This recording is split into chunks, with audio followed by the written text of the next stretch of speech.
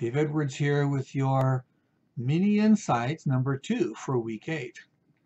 Your beliefs provide a frame upon which you can build your best life.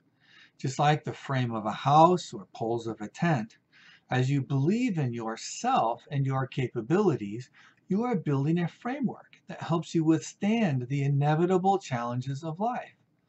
Unlike a house or a tent, which when it is built, it's pretty much it. You have the amazing capacity to change, to be better, and to strengthen your frame. You not only have the capacity, it is built into your DNA. It's the way you and all people are designed. Now, while you are certainly influenced and have limitations imposed by your circumstances, you remain the architect of your life. As the late Viktor Frankl noted, mankind has both potentialities within himself.